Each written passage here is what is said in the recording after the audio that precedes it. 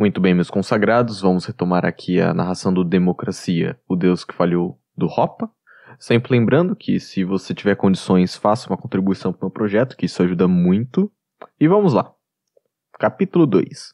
Sobre a monarquia, a democracia e a ideia de ordem natural. Teoria. Contraste entre a economia da propriedade privada governamental e a economia da propriedade pública governamental.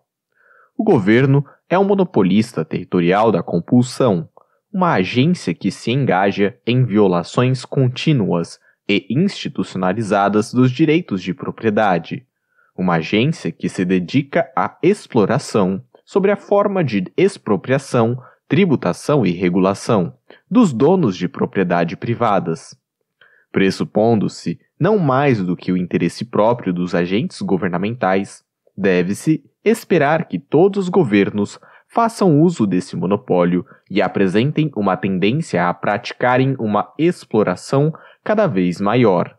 No entanto, nem todas as formas de governo podem ser igualmente bem-sucedidas nessa atividade ou praticá-la da mesma maneira. Em vez disso, à luz da elementar teoria econômica, a conduta do governo e os efeitos das políticas governamentais sobre a sociedade civil podem ser sistematicamente diferentes dependendo da hipótese de o aparato governamental ser de propriedade privada ou de propriedade pública. O que caracteriza a propriedade privada governamental é o fato de que os recursos expropriados e o privilégio monopolístico da expropriação futura são propriedade individual. Os recursos confiscados são adicionados à propriedade privada do governante e tratados como se fossem uma parte dessa propriedade. E o privilégio monopolístico da expropriação futura é acrescentado a essa propriedade como se fosse um título, conduzido assim a um aumento imediato no seu valor presente. Mais importante ainda, na condição de dono privado da propriedade governamental, o governante tem o direito de passar todos os bens pessoais para o seu herdeiro. Ele pode vender, alugar ou ceder uma parte ou a totalidade da sua propriedade privilegiada e embolsar privadamente as receitas decorrentes da sua venda ou do seu aluguel. E ele pode empregar ou despedir pessoalmente qualquer administrador e funcionário da sua propriedade. Em contraste, na propriedade pública governamental, o controle do aparato governamental está nas mãos de um administrador ou zelador. O zelador pode usar o aparato governamental para sua vantagem pessoal, mas este não lhe pertence. Ele não pode vender os recursos governamentais e embolsar privadamente as receitas, nem pode passar os bens governamentais para o seu herdeiro pessoal. Ele possui o uso atual dos recursos governamentais, mas não o valor do capital. Além disso, ao passo que a entrada na posição de propriedade privada do governo encontra-se limitada pelos critérios pessoais do seu dono, a entrada na posição de zelador governamental está aberta a todos. Qualquer indivíduo, em princípio, pode tornar-se o administrador do governo. A partir desses pressupostos centrais, dois prognósticos teóricos interrelacionados podem ser deduzidos. Primeiro, o proprietário privado do governo tende a possuir um horizonte de planejamento sistematicamente mais longo, isto é, o seu grau de preferência temporal será menor. Por conseguinte, o seu grau de exploração econômica tende a ser menor do que o de um zelador governamental. 2. Sujeitos a um maior grau de exploração, os governados também estarão comparativamente mais orientados para o presente, isto é, terão uma maior visão de curto prazo sob um sistema de propriedade pública governamental do que sob um regime de propriedade privada governamental. Primeiro, o proprietário privado do governo previsivelmente tentará maximizar a sua riqueza, isto é, o valor presente da sua propriedade e as suas receitas correntes. Ele não desejará aumentar o valor dos seus rendimentos correntes à custa de uma queda mais do que proporcional no valor presente dos seus ativos. E, visto que os atos de aquisição das receitas correntes invariavelmente engendram repercussões no valor presente dos ativos, refletindo o valor de todas as receitas futuras esperadas dos ativos com desconto da taxa de preferência temporal, a propriedade privada, por sua própria natureza, conduz ao cálculo econômico, promovendo, em consequência, uma visão de longo prazo. No caso específico da propriedade privada governamental, isso implica uma perceptível moderação no uso do privilegiado monopólio de expropriação por parte do governante, pois os atos de confisco, em função da sua natureza parasitária, recaem sobre atos anteriores de produção por parte dos governados. Onde nada foi anteriormente produzido, nada pode ser expropriado. Onde tudo é expropriado, toda a produção futura será bruscamente suspensa. Portanto, o proprietário privado do governo evitará tributar os seus súditos muito pesadamente, a fim de impedir a redução dos seus potenciais ganhos financeiros futuros na medida em que, por exemplo, o valor presente da sua propriedade sofra declínios reais. Ao invés disso, para manter ou até mesmo aumentar o valor da sua propriedade pessoal, ele sistematicamente coibirá suas políticas tributárias, pois quanto menor for o grau de tributação, mais produtivos serão os súditos, e quanto mais produtivos forem os governados, maior será o valor do parasitário monopólio da expropriação do governante. Ele, naturalmente, usará seu privilégio monopolístico. Ele não deixará de impor tributos. Porém, na condição de proprietário privado do governo, é do seu interesse parasitar uma economia cada vez mais pujante, produtiva e próspera, porque isso também incrementaria, sem qualquer esforço da sua parte, as suas próprias riquezas e a sua própria prosperidade. O grau de exploração, portanto, tende a ser baixo. Ademais, a propriedade privada do governo implica a moderação e a visão de longo prazo, por uma outra razão. Toda propriedade privada é, por definição, propriedade exclusiva. Aquele que possui uma propriedade tem o direito de excluir todos os outros do seu uso e do seu gozo, tendo a liberdade de escolher com quem, caso realmente o queira, ele está disposto a compartilhar a utilização dela. Normalmente, o proprietário de um estabelecimento privado incluirá a sua família e excluirá todos os outros, com a exceção de um convidado ou de um funcionário pago ou contratado. Somente a família real ou reinante e, em menor medida, os seus amigos, os seus funcionários e os seus parceiros de negócios, desfruta o uso das receitas fiscais e pode levar uma vida parasitária. Em decorrência dessas restrições à entrada no governo e da condição de exclusividade para o governante e a sua família, a propriedade privada do governo estimula o desenvolvimento de uma nítida consciência de classe nos governados, promovendo oposição e resistência a qualquer expansão do poder governamental de tributar. Existe uma distinção clara entre os poucos governantes e os muitos governados, e há pouco ou nenhum risco ou possibilidade de uma pessoa movimentar-se de uma classe para outra. Em função dessa barreira, quase intransponível à mobilidade para cima, é reforçada a solidariedade entre os governados, isto é, a sua mútua identificação como vítimas reais ou potenciais das violações estatais dos direitos de propriedade e o risco de a classe dominante perder a sua legitimidade em consequência de um aumento da tributação é assim reforçado. Em nítido contraste, o zelador de um governo de propriedade pública tentará maximizar não a riqueza total do governo, valores do capital e receita correntes, mas sim as receitas correntes, independentemente e à custa dos valores do capital.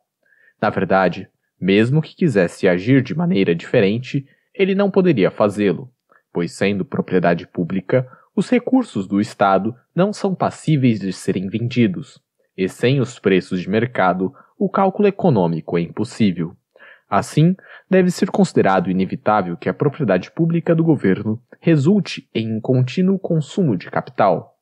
Ao invés de manter ou até mesmo aumentar o valor da propriedade governamental, como faz um proprietário privado do Estado, um presidente, o zelador temporário do governo, usará ao máximo os recursos governamentais o mais rapidamente possível, pois se ele não os consumir agora, ele pode nunca mais ter a possibilidade de consumi-los. Em particular, um zelador não tem interesse em não estragar o seu país, porque ele não incrementará suas expropriações se a vantagem de uma política de moderação não pode ser colhida privadamente, enquanto a vantagem de uma política oposta, de impostos mais altos, maiores rendimentos correntes, pode ser obtida. Para um presidente, ao contrário de um proprietário privado do governo, a moderação oferece apenas desvantagens. Além disso, com a propriedade pública governamental, qualquer pessoa, em princípio, pode tornar-se membro da classe governante ou até mesmo o seu chefe supremo. A distinção entre governantes e governados fica embaçada e a consciência de classe dos governados perde a sua nitidez. Surge ainda a ilusão de que tal distinção não existe mais. Emerge a ideia de que, com a existência de um governo democrático, ninguém é governado por ninguém, de que todos governam a si mesmos. Portanto, a resistência do público contra o governo é sistematicamente enfraquecida. Embora a expropriação e a tributação tenham se mostrado claramente opressivas e maléficas para o público no passado, elas agora parecem muito menos. Sendo a humanidade o que ela é, pois qualquer um pode livremente adentrar as fileiras daqueles que estão recebendo os frutos dessa expoliação, em decorrência disso, a exploração aumentará, seja escancaradamente na forma de maiores impostos, seja discretamente na forma de mais criação de moeda governamental, inflação e de mais regulações legislativas. Do mesmo modo, o número de empregados governamentais, servidores públicos, em comparação com o número de funcionários privados, tenderá a aumentar bastante, atraindo e promovendo pessoas com elevado grau de preferência temporal e com orientação para o presente, com visão limitada de curto prazo. 2. Em contraste com o direito de autodefesa, na eventualidade de um atentado criminoso, a vítima das violações governamentais dos direitos de propriedade privada não pode legitimamente defender-se de tais violações. A instituição de um imposto governamental sobre os bens ou os rendimentos viola os direitos de propriedade do produtor tanto quanto o roubo. Em ambos os casos, a oferta de bens do apropriador produtor é diminuída contra sua vontade e sem o seu consentimento. A moeda governamental, isto é, a criação de liquidez, não menos significa uma expropriação fraudulenta dos donos de propriedade do que as operações de uma gangue criminosa de falsificadores.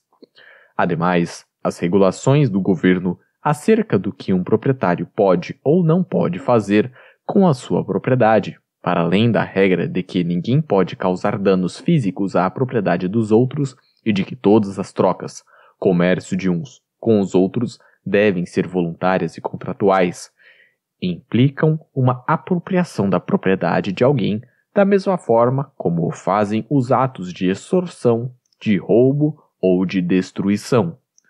Mas a tributação, a criação de liquidez perpetrada pelo governo e as regulações governamentais, ao contrário dos seus homólogos penais, são consideradas legítimas e a vítima da interferência do Estado, ao contrário da vítima de um crime, não tem o direito à defesa física e à proteção da sua propriedade. Graças então à sua legitimidade, as violações governamentais dos direitos de propriedade afetam sistematicamente as preferências temporais individuais de forma diferente e muito mais profunda do que a criminalidade. Assim como os crimes, a interferência governamental nos direitos de propriedade privada reduz a oferta de bens presentes de uma pessoa, aumentando assim a sua efetiva taxa de preferência temporal. As agressões governamentais, ao contrário dos crimes, ao mesmo tempo, aumentam o grau de preferência temporal das vítimas reais e potenciais, pois elas implicam também uma redução da oferta de bens futuros. O crime, por ser ilegítimo, ocorre apenas intermitentemente. O assaltante desaparece da cena com o seu saque e deixa suas vítimas sozinha, livre e em paz. Portanto, pode-se lidar com o crime através do aumento da demanda por produtos e serviços de proteção, a fim de restaurar ou até mesmo aumentar a futura taxa de retorno de investimento e de fazer com que seja menos provável que o mesmo ou um outro assaltante possam ser bem-sucedidos uma segunda vez com a mesma ou com uma outra vítima. Em contraste, por serem legítimas, as violações governamentais dos direitos de propriedade são contínuas. O agressor não desaparece na clandestinidade, mas permanece ao redor. E a vítima pode não se armar contra ele, mas deve permanecer em defesa. Pelo menos é o que geralmente dela se espera. Ao invés de promoverem e melhorarem a sua proteção, as vítimas reais e potenciais das violações governamentais dos direitos de propriedade, como demonstrado pela sua contínua desproteção vis-à-vis -vis dos seus agressores, reagem a isso associando um risco permanentemente maior à totalidade da sua produção futura e ajustando sistematicamente para baixo suas expectativas em relação à taxa de retorno de todos os investimentos futuros. Em função de os apropriadores produtores estarem indefesos contra futuras agressões por parte dos agentes do governo, a sua esperada taxa de retorno de ações produtivas e orientadas para o futuro é reduzida em todos os aspectos. Em consequência disso, as vítimas reais e potenciais tornam-se mais orientadas para o presente. Adicionalmente, em virtude de o grau de exploração ser comparativamente maior sob o governo de propriedade pública, essa tendência à adoção da visão de curto prazo, orientada para o presente, será significativamente mais acentuada sob o governo de propriedade pública do que sob o governo de propriedade privada. Prática: a transição da monarquia para a democracia. As monarquias hereditárias representam os exemplos históricos de governos de propriedade privada. As repúblicas democráticas representam os exemplos históricos de governos de propriedade pública. Durante a maior parte da sua história, a humanidade, na medida em que esteve sujeita a qualquer tipo de controle governamental, encontrou-se sob o jugo de regimes monárquicos. Houve exceções à democracia ateniense, Roma durante a sua era republicana, as repúblicas de Veneza, Florença e Genova durante o período renascentista. As Províncias Unidas dos Países Baixos durante o período entre 1648 e 1673, e a Inglaterra sobre Cromwell de 1649 a 1660. Entretanto, estas foram ocorrências raras em um mundo dominado pelas monarquias. Com exceção da Suíça, elas se revelaram fenômenos de curta duração. Limitadas pelo ambiente monárquico circundante, todas as repúblicas mais antigas concretizaram a condição de liberdade de entrada na propriedade pública governamental apenas de modo imperfeito, porque, ao passo que a forma republicana de governo implica, por definição, que o governo não é de propriedade privada, mas sim de propriedade pública, podendo-se esperar então que uma república possua uma inata tendência à adoção do sufrágio universal, em todas as repúblicas antigas, a entrada no governo estava restrita a grupos relativamente pequenos de nobres. Com o término da Primeira Guerra Mundial, a humanidade realmente deixou para trás a era monárquica. No transcurso de um século e meio, contando a partir da Revolução Francesa, a Europa, e em seu rastro o resto do mundo, sofreu uma monumental transformação. Em todo lugar, o governo monárquico e os reis soberanos foram substituídos pelo Estado republicano democrático e pelos povos soberanos. O primeiro ataque direto do republicanismo e da soberania popular ao princípio monárquico foi repelido com a derrota militar de Napoleão e com a restauração do governo Bourbon na França. Como consequência do terror revolucionário e das guerras napoleônicas, o republicanismo foi amplamente desacreditado durante a maior parte do século XIX. Ainda assim, o espírito republicano-democrático da Revolução Francesa deixou uma marca permanente. Desde a restauração do poder monárquico, até a eclosão da Primeira Guerra Mundial, a participação barra representação política popular foi sistematicamente expandida pela Europa inteira. Em toda parte, a cidadania foi sucessivamente ampliada e os poderes dos parlamentos populares eleitos gradualmente incrementados. De 1815 a 1830, o direito do voto, na França, ainda era rigorosamente limitado sob o restaurado governo Bourbon. De uma população de cerca de 30 milhões de indivíduos, o eleitorado incluía apenas os maiores donos de propriedade, cerca de 100 mil pessoas. Como resultado da Revolução de Julho de 1830, da abdicação de Carlos X e da coroação do Duque de Orleans, o número de eleitores aumentou para aproximadamente 200 mil pessoas. Em consequência das perturbações revolucionárias de 1848, a França voltou a ser republicana, sendo introduzido o sufrágio universal e irrestrito para todos os cidadãos do sexo masculino acima da idade de 21 anos.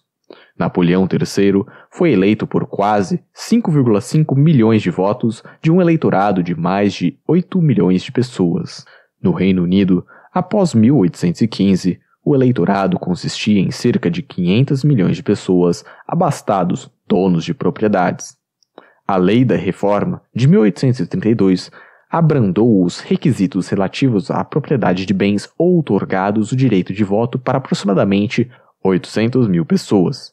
A próxima ampliação do eleitorado, de cerca de 1 milhão para 2 milhões de indivíduos, concretizou-se com a Segunda Lei de Reforma de 1867. Em 1884, as restrições patrimoniais foram ainda mais afrouxadas, outorgando-se o direito de voto para cerca de 6 milhões de pessoas.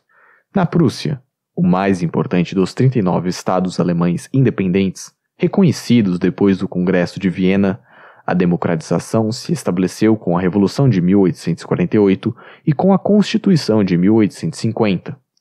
A Câmara Inferior do Parlamento prussiano foi, assim, eleita por sufrágio universal masculino.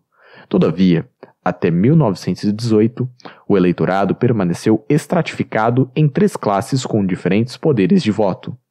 Por exemplo, os cidadãos mais ricos, aqueles que contribuíam com um terço de todos os impostos, elegeram um terço dos membros da Câmara Inferior.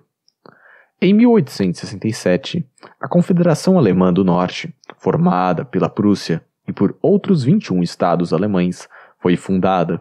A sua constituição otorgou o sufrágio universal sem restrições para todos os homens acima da idade de 25 anos. Em 1871, após a vitória sobre Napoleão III, a Constituição da Confederação Alemã do Norte foi adotada praticamente sem alterações pelo recém-fundado Império Alemão. Deu uma população total de cerca de 35 milhões de indivíduos, cerca de 8 milhões de pessoas, elegeu o primeiro Reichstag alemão. Depois da unificação política italiana sob a liderança do Reino da Sardenha e do Piemonte em 1861, o direito de voto era otorgado para somente 500 mil pessoas, de uma população de cerca de 25 milhões de indivíduos. Em 1882, os requisitos patrimoniais foram abrandados e a idade mínima para exercer o voto foi reduzida de 25 para 21 anos. Em decorrência disso, o eleitorado da Itália aumentou para mais de 2 milhões de pessoas. No ano de 1913, foram introduzidos o sufrágio quase universal e ilimitado para todos os homens acima de 30 anos, e o sufrágio minimamente restrito para homens acima dos 21 anos, sendo aumentado o número de eleitores italianos para mais de 8 milhões de pessoas. Na Áustria, o sufrágio masculino restrito desigual foi introduzido em 1873. O eleitorado, composto de quatro classes, de desigual poder de voto, totalizou 1,2 milhões de eleitores de uma população de cerca de 20 milhões de pessoas. Em 1867, uma quinta classe foi acrescentada, 40 anos mais tarde, esse sistema foi abolido, sendo aprovado o sufrágio universal e igual para os homens acima da idade de 24 anos, o que outorgou o direito de voto para cerca de 6 milhões de indivíduos. A Rússia tinha um sistema de conselhos provinciais e distritais eleitos desde 1864 e, em 1905, em consequência da sua desastrosa guerra contra o Japão, criou-se um parlamento, o qual foi eleito por sufrágio masculino quase universal, embora indireto e desigual.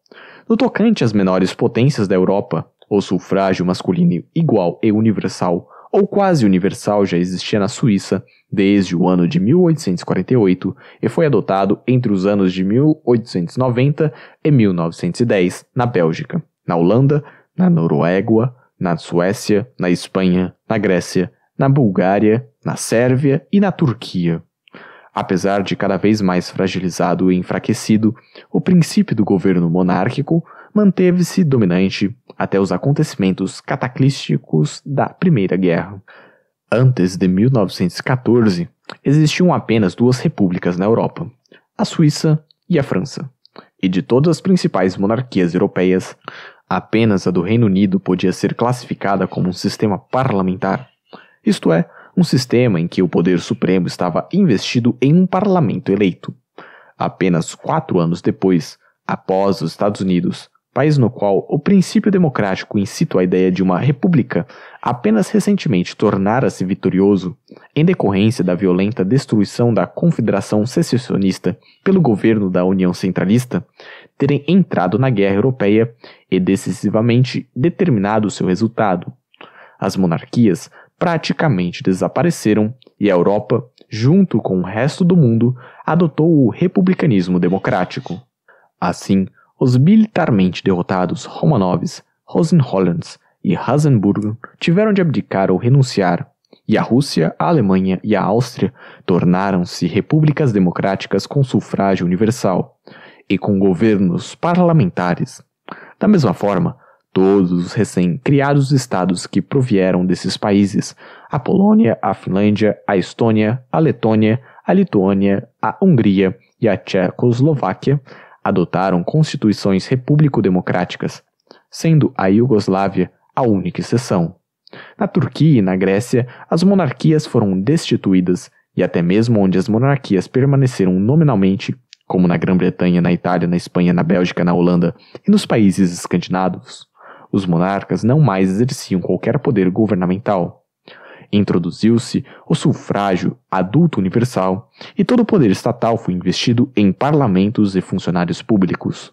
Uma nova ordem mundial, a era repúblico-democrática, sob a égide de um dominante governo dos Estados Unidos, começara. Provas e ilustrações. A exploração e a visão de curto prazo, sob o regime monárquico e sob o republicanismo democrático. Do ponto de vista da teoria econômica, o fim da Primeira Guerra Mundial pode ser considerado o momento da história em que a propriedade privada governamental foi completamente substituída pela propriedade pública governamental. O momento a partir do qual se pode hipotetizar a concretização de uma tendência sistemática à exploração cada vez maior. Na realidade, este tem sido o grande tema por trás da história ocidental pós Primeira Guerra Mundial com alguns maus presságios no último terço do século XIX, em conjunto com uma crescente emasculação dos ancien regimes. De 1818 em diante, praticamente todos os indicadores de exploração governamental e de preferência temporal, cada vez maiores, apresentaram uma sistemática tendência ascendente. Indicadores de exploração. Não há dúvida de que o volume de impostos cobrados da sociedade civil aumentou durante a era monárquica. Porém, ao longo de todo esse período, a cota de receitas governamentais permaneceu notavelmente estável e baixa, concluiu o historiador econômico Carlo M. Cipolla. Apesar de tudo, deve-se admitir, sem dúvida, que a porção das riquezas nacionais apreendidas pelo setor público aumentou a partir do século XI por toda a Europa mas é difícil imaginar que, excetuando-se momentos e locais específicos, o poder público nunca conseguiu tomar mais do que 5 a 8% da renda nacional. Fecha a citação. E ele então demonstra que essa porção não foi sistematicamente ultrapassada até a segunda metade do século XIX. Nos tempos feudais, observa Bertrand de Juvenel, abre citação, os gastos estatais, que é como nós os chamamos agora, eram considerados como os próprios gastos dos reis, no quais ele incorria em virtude de suas atividades.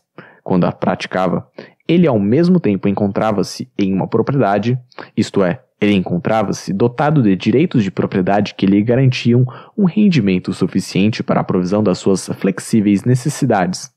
É como se fosse esperado de um governo da nossa própria época que cobrisse as suas despesas correntes com as receitas provenientes de empresas públicas. Fecha a citação. Durante a centralização política ocorrida ao longo dos séculos XVI e XVII, surgiram novas fontes adicionais de receitas governamentais, impostos sobre importação, impostos sobre circulação de mercadorias e impostos sobre propriedade de terra. No entanto, até meados do século XIX, de todos os países da Europa Ocidental, apenas o Reino Unido, por exemplo, estabelecia impostos de renda. A França introduziu pela primeira vez algum tipo de imposto de renda em 1873, a Itália em 1877, a Noruega em 1892, os Países Baixos em 1894, a Áustria em 1898, a Suécia em 1903, os Estados Unidos em 1913, a Suíça em 1916, a Dinamarca e a Finlândia em 1917, a Irlanda e a Bélgica em 1922 e a Alemanha em 1924. Mas, até mesmo no período da deflagração da Primeira Guerra Mundial, o total das despesas governamentais em percentagem do produto interno bruto normalmente não aumentou para mais de 10%, só raramente ultrapassando os 15%, como no caso da Alemanha. Em nítido contraste com o início da era repúblico-democrática, as despesas governamentais totais em percentagem do produto interno bruto normalmente aumentaram de 20 para 30% no decorrer das décadas de 1920 e de 1930, e elas, em meados da década de 1970, em geral atingiram 50%. Também não há dúvida de que aumentou o número total de empregados governamentais durante a era monárquica. Contudo, até o final do século XIX, os funcionários do governo raramente ultrapassavam 3% do total da força de trabalho. Os ministros e os parlamentares reais, em geral, não recebiam salários financiados pelo poder público. Esperava-se que eles se sustentassem com seus rendimentos privados. Em contraste com o avanço do processo de democratização, eles se tornaram funcionários assalariados, sempre aumentando o número de empregados governamentais. Na Áustria, por exemplo, o número de funcionários governamentais em percentagem da força de trabalho aumentou de menos de 3% em 1900 para mais de 80% em 1920 e para quase 15% em meados da década de 1970. Esse padrão foi semelhante na Itália e em praticamente todos os lugares. Em meados da década de 1970, o número de empregados governamentais ainda era um pouco inferior a 10% da força de trabalho. Da análise da inflação e dos dados sobre a oferta de moeda emerge um padrão similar. O mundo monárquico era geralmente caracterizado pela existência de uma moeda mercadoria, geralmente ouro ou prata, e, por fim, após o estabelecimento, ao longo dos séculos XVII e XVIII, de um mercado mundial unificado e integrado pelo padrão ouro internacional. Um padrão de moeda mercadoria torna difícil para um governo inflar a oferta de moeda. Ao monopolizarem a produção de moeda e envolverem-se em uma prática sistemática de clipagem monetária, os reis fizeram o melhor que podiam para enriquecerem à custa do público. Também houve tentativas de criar moedas fiduciárias irredimíveis. Na verdade, analisando-se, por exemplo, a história do Banco da Inglaterra Desde a sua criação, em 1694, encontram-se suspensões periódicas do pagamento em espécie. Em 1696, em 1720, em 1745 e de 1797 a 1821. Mas essas experiências de moedas fiduciárias, associadas em especial com o Banco de Amsterdã, com o Banco da Inglaterra e com o Banco Real da França, consistiram em raros eventos regionais, que rapidamente terminaram em catástrofes financeiras, como o colapso da Mania das Tulipas holandesas em 1637 e a bolha do Mississippi e a bolha do Mar do Sul em 1720. Os governantes monárquicos bem que tentaram, mas não conseguiram obter sucesso em estabelecer monopólios de moedas puramente fiduciárias, isto é, de papel moeda irredimível que pode ser criado praticamente a partir do nada, virtualmente sem custo algum. Nenhum indivíduo particular, nem mesmo um rei, podia ser investido com um extraordinário monopólio como esse. Foi apenas sob as condições do republicanismo democrático, de governantes anônimos e impessoais, que essa façanha conseguiu ser realizada. Durante a Primeira Guerra Mundial, bem como durante guerras anteriores, e os governos beligerantes destruíram o padrão ouro. Em toda a Europa, o resultado foi um aumento dramático na oferta de papel moeda, especialmente na Alemanha derrotada, na Áustria e na Rússia soviética. Emergiram condições hiperinflacionárias no imediato rescaldo da guerra. Porém, ao contrário das guerras anteriores, a Primeira Guerra Mundial não terminou com um retorno ao padrão ouro. Ao invés disso, a partir de meados da década de 1920 até o ano de 1971, interrompido por uma série de crises monetárias internacionais, um pseudo-padrão ouro, o padrão ouro-câmbio, foi implementado. Em síntese, apenas os Estados Unidos redimiam dólares em ouro. A Grã-Bretanha redimia libras em dólares e o resto da Europa redimia suas moedas em libras. Em virtude disso, como reflexo da hierarquia internacional de poder que passou a existir depois do fim da Primeira Guerra Mundial, o governo dos Estados Unidos agora inflacionava dólares de papel em cima do ouro, o governo da Grã-Bretanha inflacionava libras de papel em cima de dólares inflacionados e os governos dos demais países europeus inflacionavam as suas moedas de papel em cima de dólares ou libras inflacionados. E depois de 1945, somente em cima de dólares. Finalmente, em 1971, com reservas de dólares cada vez maiores acumulados nos bancos centrais europeus e com o perigo iminente de uma corrida para as reservas de ouro americanas, até mesmo o último remanescente do padrão ouro internacional foi abolido. Desde então, e pela primeira vez na história, o mundo inteiro adotou um sistema de moeda puramente fiduciárias, de moedas governamentais, de papel de livre flutuação. Como resultado, desde o início da era republicano-democrática, inicialmente sob um pseudo-padrão ouro, a partir do ano de 1971, em um ritmo acelerado sob um padrão de papel-moeda governamental, uma aparente tendência secular permanente à inflação e à desvalorização monetária passou a existir.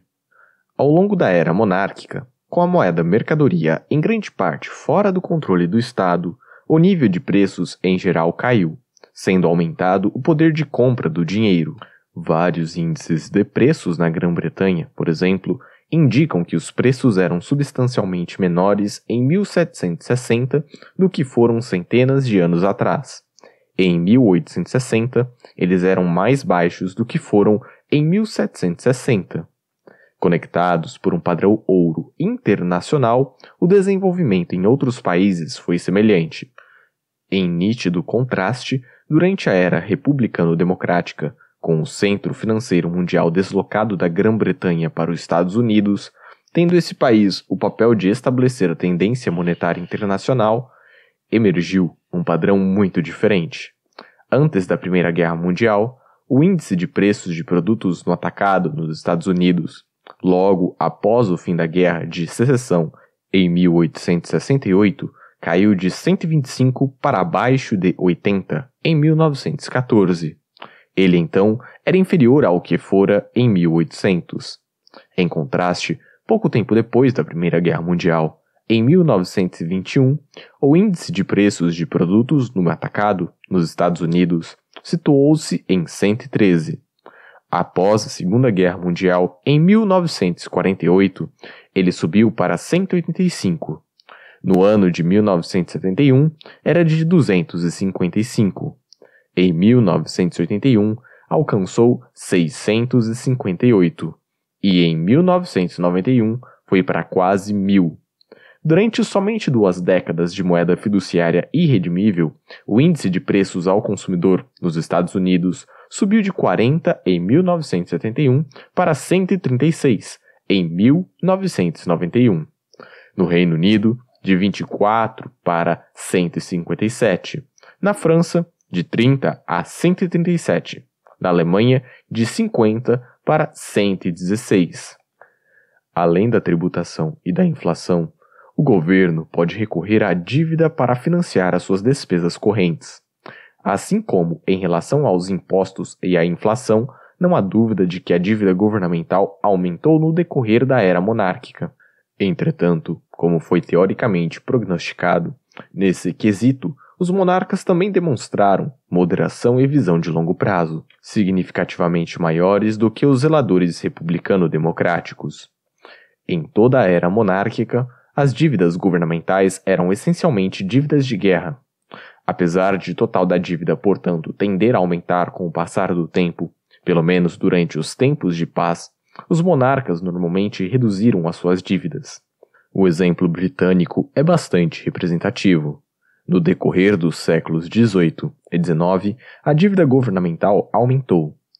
Ela era de 76 milhões de libras após a Guerra Espanhola, de 127 milhões de libras após a Guerra dos Sete Anos, de 236 milhões de libras após a Guerra da Independência Americana e de 900 milhões de libras após as guerras napoleônicas. Todavia, durante cada período de paz, o total da dívida de fato diminuiu. A partir de 1815 até 1914, a dívida nacional britânica caiu de um total de 900 milhões de libras para abaixo de 700 milhões de libras. Era nítido o contraste desde o estabelecimento da era repúblico-democrática. A dívida governamental na Grã-Bretanha só aumentou, tanto na guerra quanto na paz. Em 1920, ela era de 7,9 bilhões de libras.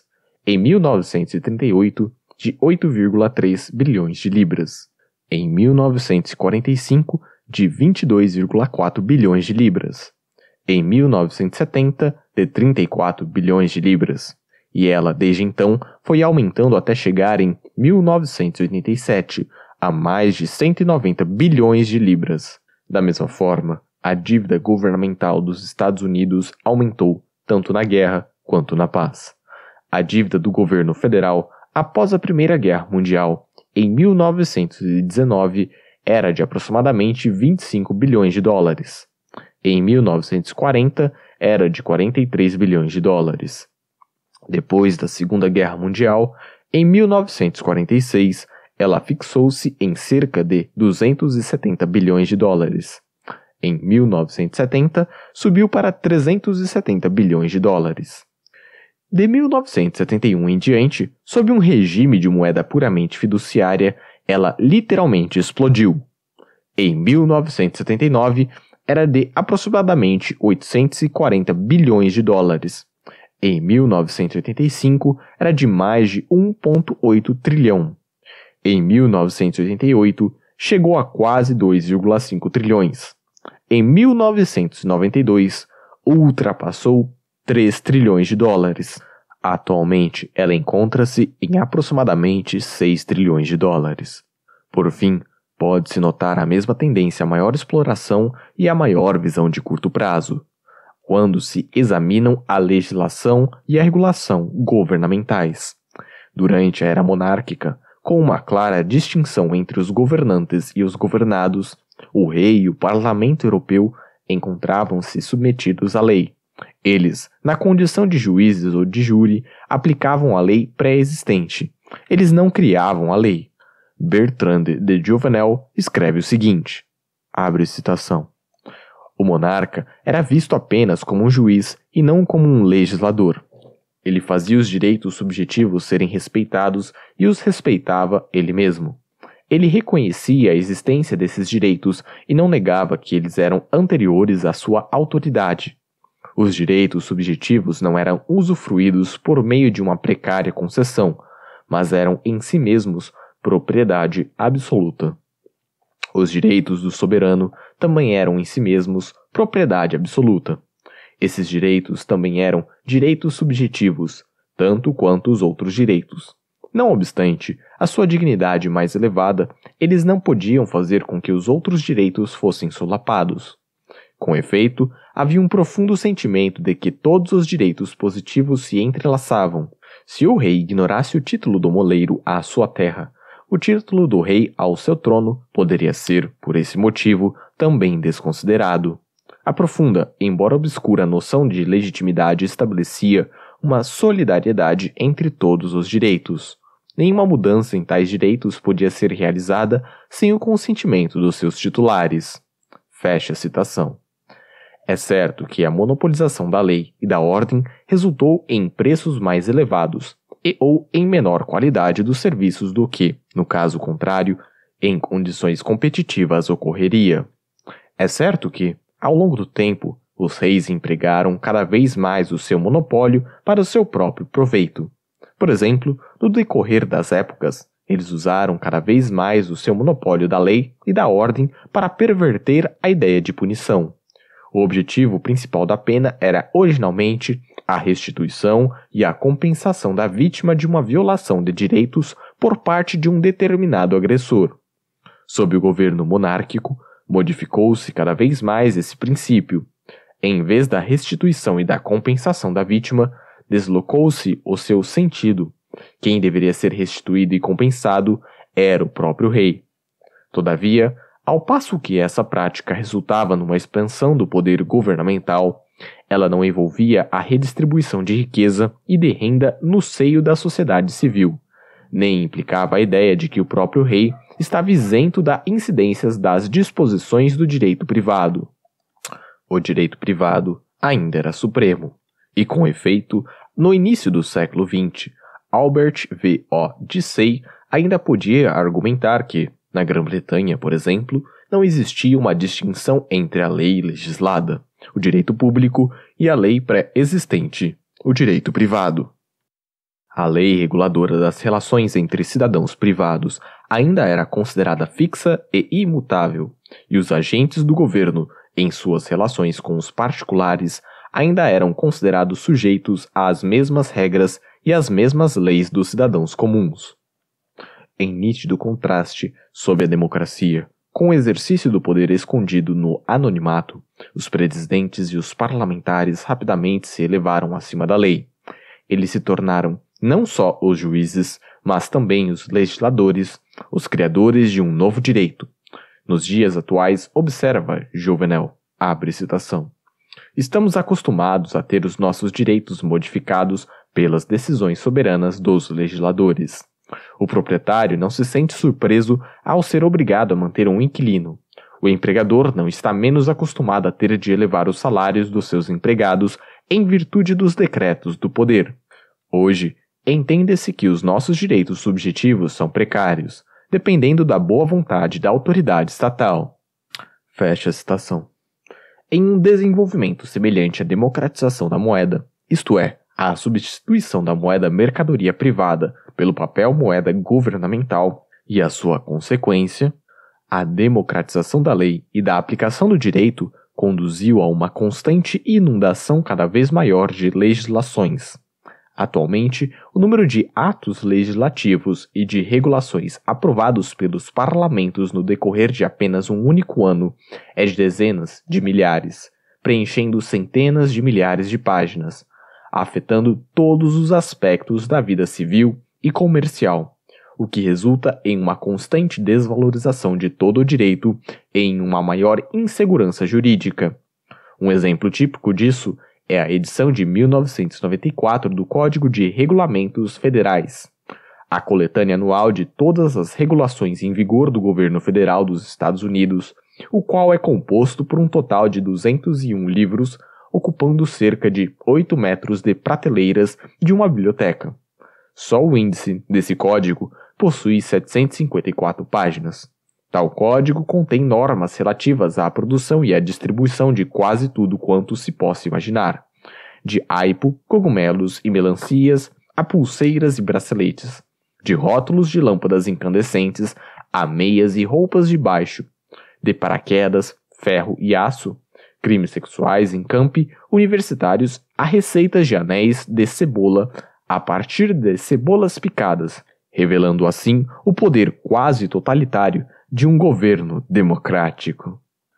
Indicadores de visão de curto prazo, orientada para o presente.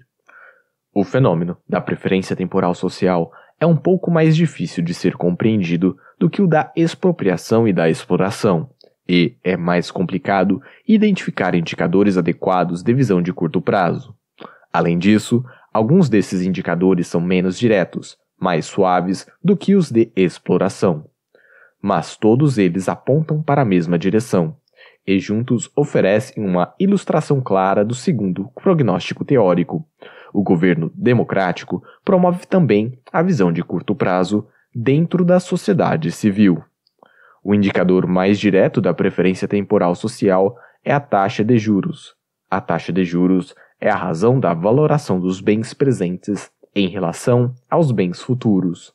Mais especificamente, ela indica o prêmio através do qual o dinheiro presente é trocado pelo dinheiro futuro. Uma alta taxa de juros implica maior visão de curto prazo.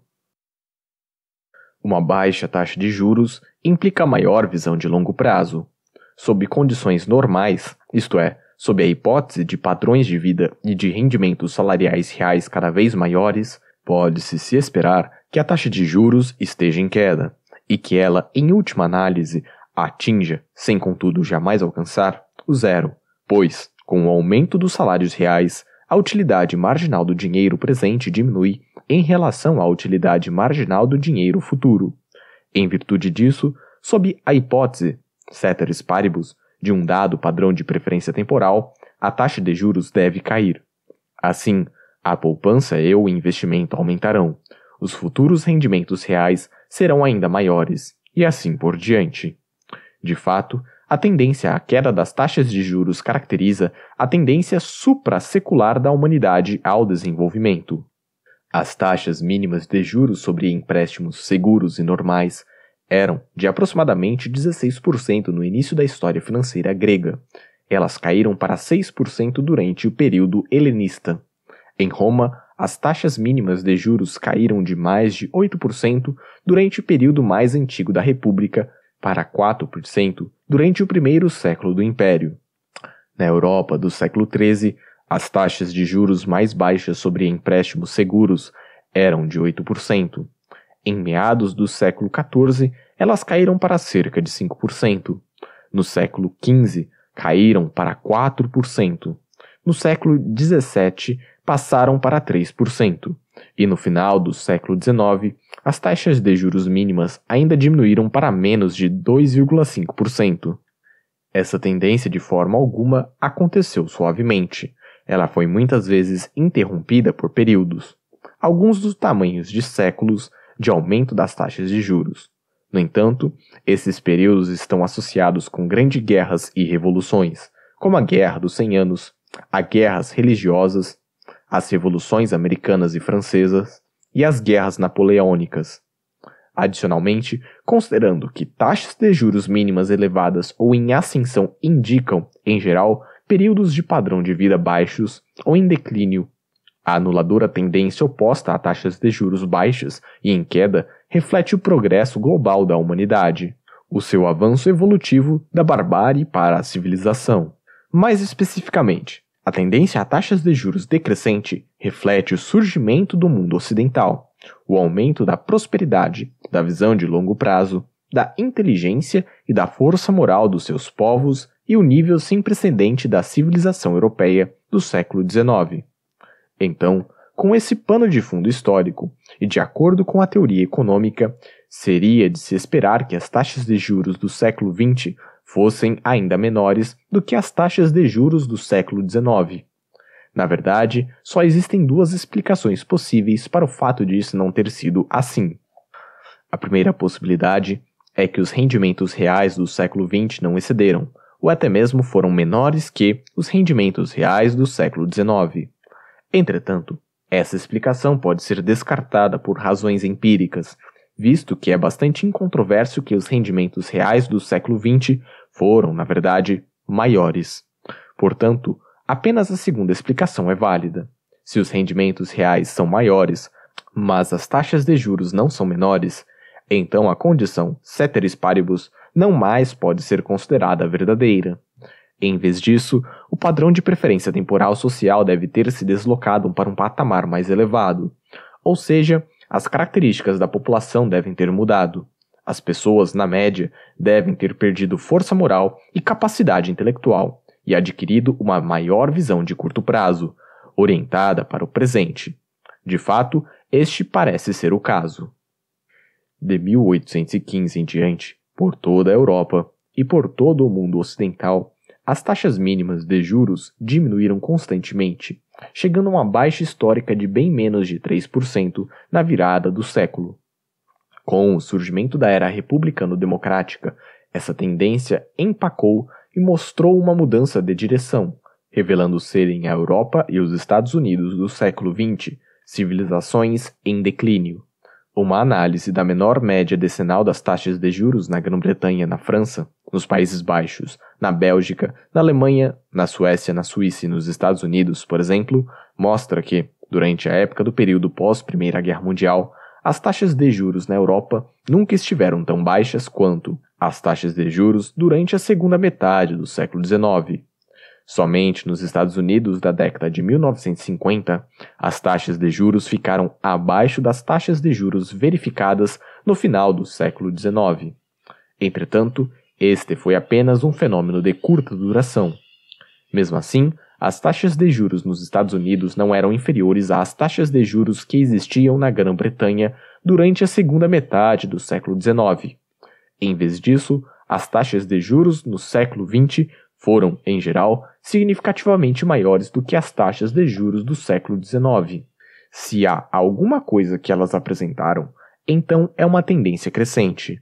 Essa conclusão não é substancialmente alterada, mesmo que se leve em consideração o fato que as taxas de juros modernas, em especial desde a década de 1970, incluem um sistemático prêmio inflacionário.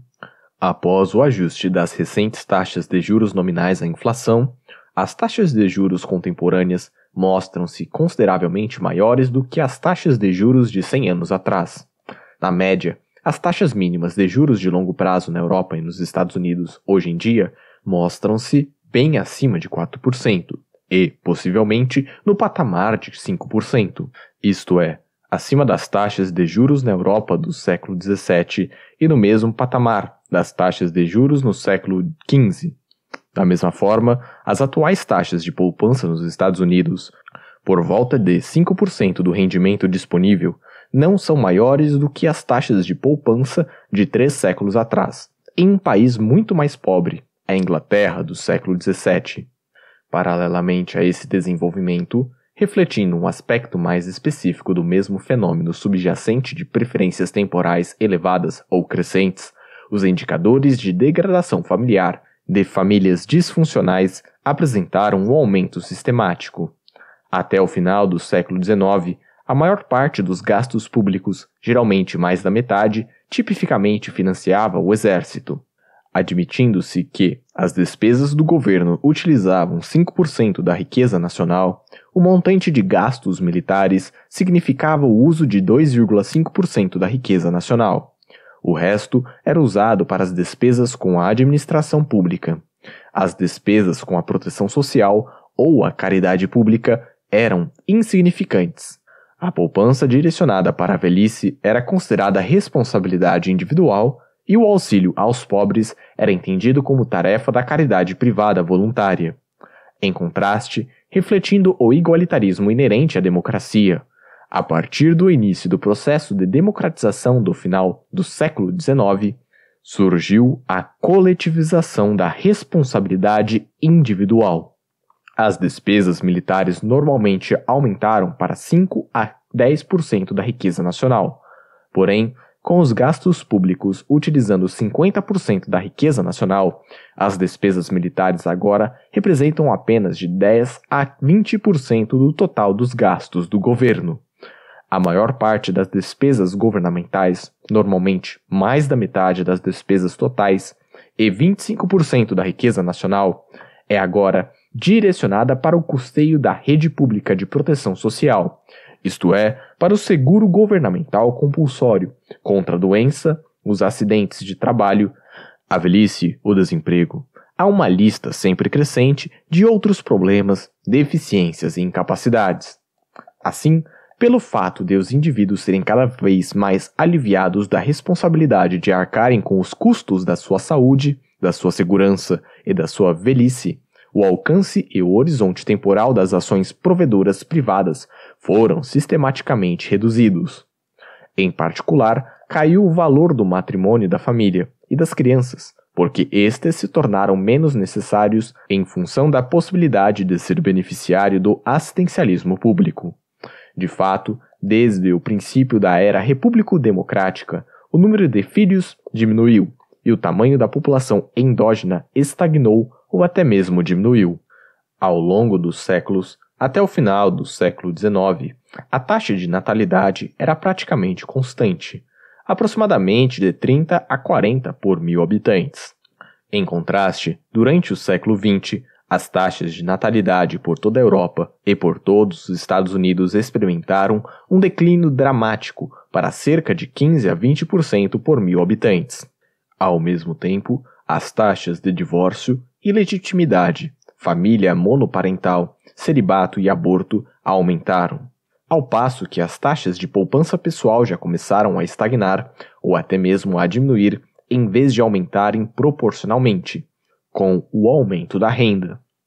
Ademais, como consequência da depreciação do direito resultante da legislação e da coletivização da responsabilidade individual, a taxa de crimes de natureza grave Assassinato, agressão, roubo e furto, por exemplo, também demonstrou uma sistemática tendência ascendente. No curso normal dos acontecimentos, isto é, com o aumento do padrão de vida, é de se esperar que a proteção contra desastres sociais, como o crime, se submeta a uma melhoria contínua, assim como é de se esperar que a proteção contra desastres naturais, como inundações, terremotos e furacões, se torne progressivamente melhor. Na verdade, em toda a história do mundo ocidental, este parece, de modo geral, ter sido o caso até os tempos recentes, durante a segunda metade do século XX, quando as taxas de criminalidade começaram a subir de forma constante. Certamente há uma série de fatores, além da irresponsabilidade da visão de curto prazo, cada vez maiores, que podem contribuir para a criminalidade. Os homens cometem mais crimes do que as mulheres, os jovens cometem mais crimes do que os mais velhos. Os negros cometem mais crimes do que os brancos. E os habitantes das cidades cometem mais crimes do que os habitantes das zonas rurais. Assim, as alterações na composição dos sexos, das faixas etárias e das raças, e o grau de urbanização deverão desencadear um efeito sistemático sobre o crime. Entretanto, todos esses fatores são relativamente estáveis, não influindo, portanto, em qualquer alteração sistemática na tendência de longo prazo à redução das taxas de criminalidade. Nos países europeus, as populações foram e são relativamente homogêneas. Nos Estados Unidos, a proporção de negros manteve-se estável. A composição dos sexos é, em grande parte, uma constante biológica. Como resultado das guerras, Apenas a proporção do sexo masculino diminuiu de maneira periódica, sendo reforçada na realidade a normal tendência à queda das taxas de criminalidade. Da mesma forma, a composição das faixas etárias tem mudado apenas lentamente, em virtude da diminuição da taxa de natalidade e do aumento da expectativa de vida. A idade média da população aumentou, o que, na verdade, ajudou a diminuir ainda mais as taxas de criminalidade. Por fim, o grau de urbanização começou a aumentar radicalmente de 1800 em diante. Pode-se atribuir um período de crescente taxas de criminalidade durante o início do século XIX a esse surto inicial de urbanização. Porém, após um período de adaptação ao novo fenômeno da urbanização, a partir de meados do século XIX, a equilibradora tendência à queda das taxas de criminalidade foi novamente retomada. Apesar do fato de que o processo de rápida urbanização continuou nos 100 anos seguintes, e quando as taxas de criminalidade começaram a sistematicamente aumentar a partir de meados do século XX, o processo de urbanização crescente realmente chegou a uma interrupção.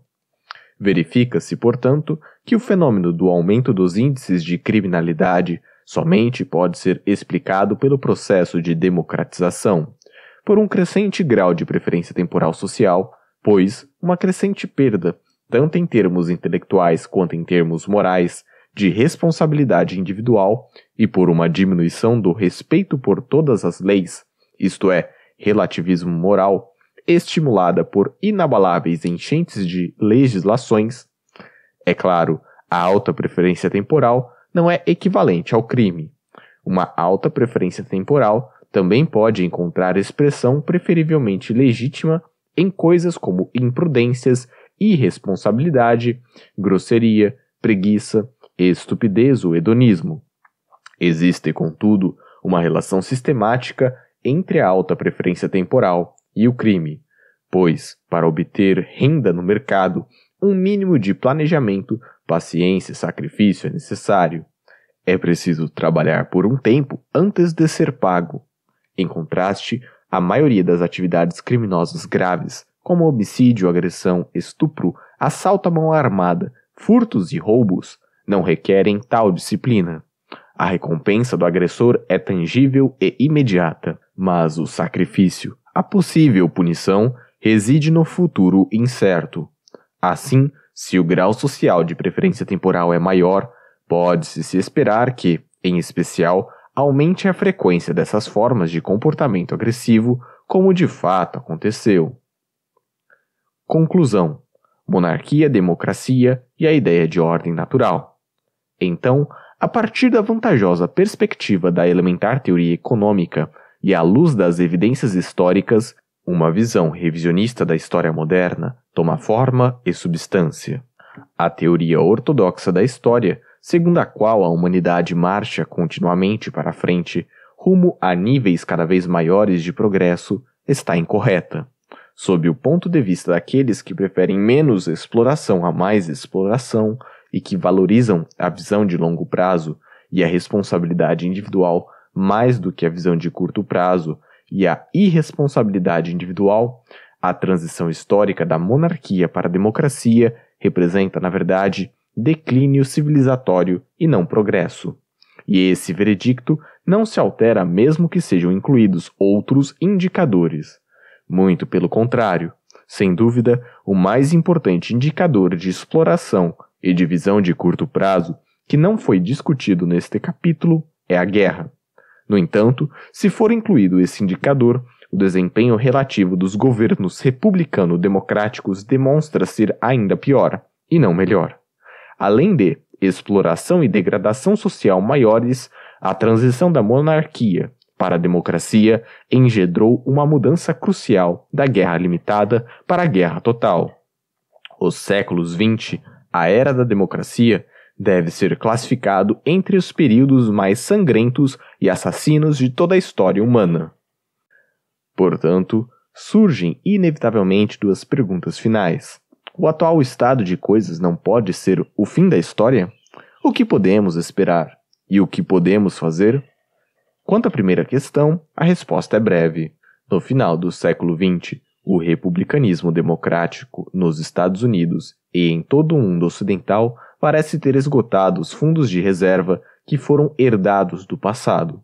Por décadas, até o boom da década de 1990, os rendimentos reais estagnaram ou até mesmo caíram. A dívida pública e o custo dos sistemas de previdência social conduziram à perspectiva de um iminente descalabro econômico. Ao mesmo tempo, os conflitos sociais e o desmoronamento social atingiram perigosos patamares. Se a tendência à exploração e a visão de curto prazo, orientada para o futuro, cada vez maiores permanecerem em seu curso atual, os estados democráticos ocidentais de bem-estar social entrarão em colapso, assim como ocorreu com as repúblicas socialistas populares do leste europeu no final da década de 1980.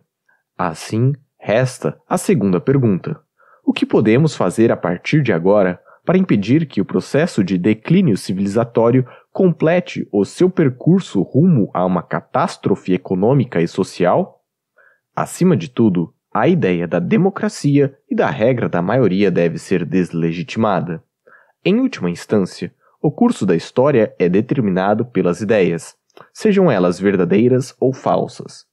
Assim como os reis não podiam exercer o seu domínio a menos que a maioria da opinião pública aceitasse esse domínio como legítimo, os governantes democráticos não podem manter-se no poder sem o apoio ideológico da opinião pública. Da mesma forma, a transição do governo monárquico para o governo democrático deve ser explicada fundamentalmente como uma mera mudança na opinião pública. De fato, até o final da Primeira Guerra Mundial, a esmagadora maioria da opinião pública na Europa aceitava os governos monárquicos como legítimos. Nos dias de hoje, quase ninguém o faria. Pelo contrário, a ideia do governo monárquico é considerada ridícula, risível. Em virtude disso, deve-se se considerar impossível um retorno ao ancien regime. Tudo indica que a legitimidade do governo monárquico foi irremediavelmente perdida. O retorno à monarquia não seria uma solução verdadeira e adequada. Os governos monárquicos, sejam quais forem os seus méritos relativos, praticam a exploração e contribuem para a promoção de visão de curto prazo. Ao invés disso, a ideia do governo republicano democrático deve ser reputada como igualmente, se não mais, ridícula e risível, sendo ele identificado como a fonte do contínuo processo de decivilização. Todavia, ao mesmo tempo, e ainda mais importante, uma alternativa positiva para a monarquia e a democracia, a ideia de uma ordem natural, deve ser delineada e compreendida. Por um lado, isso implica o reconhecimento de que a verdadeira fonte da civilização humana não se encontra na exploração, mas sim na propriedade privada, na produção e nas trocas voluntárias. Por outro lado, isso envolve o reconhecimento de um insight sociológico fundamental. A manutenção e a preservação de uma economia baseada na propriedade privada e nas trocas voluntárias exigem, como pressuposto sociológico, a existência de uma elite natural voluntariamente reconhecida, uma nobilitas naturalis. O resultado natural das transições voluntárias entre vários proprietários privados é decididamente não igualitarista, hierárquico e elitista. Em consequência da enorme diversidade de talentos humanos em todas as sociedades, algumas pessoas rapidamente adquirem o status de elite. Devido às suas realizações superiores em termos de riqueza, sabedoria e coragem, alguns indivíduos chegam a possuir uma autoridade natural, e as suas opiniões e os seus julgamentos desfrutam um respeito generalizado. Além disso, em função do acasalamento e do casamento seletivo e das leis de herança civil e genética, as posições de autoridade natural têm maior probabilidade de se situarem dentro das linhagens de algumas famílias nobres. É aos chefes dessas famílias, com um histórico longamente estabelecido de grandes realizações, de visão de longo prazo e de exemplar conduta pessoal, que os homens se dirigem para solucionarem os seus conflitos e as suas queixas uns contra os outros. E são esses líderes da elite natural, os indivíduos que normalmente atuam como juízes pacificadores, muitas vezes gratuitamente, a partir de um senso de obrigação exigido e esperado de uma pessoa de autoridade, ou até mesmo a partir de uma íntegra preocupação pela justiça civil, na condição de um bem público privadamente prestado e provido, na verdade, a origem endógena da monarquia, em oposição à origem exógena por meio da conquista, só pode ser compreendida no contexto de uma ordem prévia das elites naturais. O pequeno, porém decisivo, passo na transição para o governo monárquico, isto é, o pecado original, consistiu precisamente na monopolização da função de juiz e pacificador. Esse passo foi tomado depois de um único membro da elite natural voluntariamente reconhecida. O rei ter insistido com a oposição dos outros membros da elite social que todos os conflitos dentro daquele determinado território fossem trazidos para diante dele e que as partes em conflito não escolhessem qualquer outro juiz ou pacificador que não fosse ele. A partir desse momento, a lei e a aplicação da lei se tornaram mais caras. Ao invés de serem oferecidas gratuitamente ou mediante pagamento voluntário, Elas passaram a ser financiadas através de pagamentos compulsórios, impostos. Ao mesmo tempo, deteriorou-se a qualidade da vida. Ao invés de defender o direito pré-existente e aplicar os universais e imutáveis princípios da justiça, os juízes monopolistas, os quais não temem perder clientes em decorrência de não serem imparciais em suas decisões, puderam, sucessivamente, alterar a lei existente em proveito próprio. Foi, em grande medida, pelo preço inflacionado da justiça e pelas versões da lei pré-existente por parte dos reis que surgiu a motivação da histórica oposição à monarquia. Entretanto, prevaleceram noções confusas acerca das causas desse fenômeno. Houve aqueles que corretamente concluíram que o problema residia no monopólio e não nas elites ou na nobreza mas eles se encontravam em número muito menor em relação àqueles que erroneamente culpavam o caráter elitista dos governantes pelo problema. Em consequência disso, esses indivíduos se empenharam em manter o monopólio da lei e da aplicação da lei, tão somente substituindo o rei e a visível pompa real pelo povo e pela supostas modéstia e decência do homem comum. Daí o sucesso histórico da democracia. Ironicamente, a monarquia foi então destruída pelas mesmas forças sociais que os reis instigaram quando começaram a impedir as autoridades naturais concorrentes de atuarem como juízes. A fim de superar a resistência delas, os reis normalmente alinhavam-se com o povo com o homem comum. Como era previsível, a democratização da lei e da aplicação da lei, a substituição do rei pelo povo, contudo, tornou as coisas ainda piores. O preço da justiça e da pacificação aumentou astronomicamente, e durante todo esse tempo a qualidade da lei deteriorou-se ao ponto em que a ideia do direito como um corpo de princípios universais e imutáveis de justiça praticamente desapareceu da opinião pública, sendo substituída pela concepção do direito como uma legislação. Ao mesmo tempo, a democracia, obteve êxito numa área em que a monarquia só conseguiu efetivar um modelo preambular na decisiva destruição das elites naturais. As fortunas das grandes famílias se dissiparam e a sua tradição de independência cultural e econômica, de perspicácia intelectual e de liderança moral e espiritual foi esquecida. Ainda existem homens ricos hoje em dia, mas eles muito frequentemente devem a sua fortuna direta ou indiretamente ao Estado. Assim, tais homens se encontram muitas vezes mais dependentes de contínuos favores estatais do que as pessoas de menor riqueza. Eles, normalmente, não mais são os chefes de famílias proeminentes há muito estabelecidas, mas sim aquilo que se chama de novos ricos, a sua conduta não é marcada por virtude, dignidade ou gosto especiais. Ela é um reflexo da mesma cultura proletária de visão de curto prazo, de oportunismo e de hedonismo, a qual os ricos agora compartilham com todos os demais.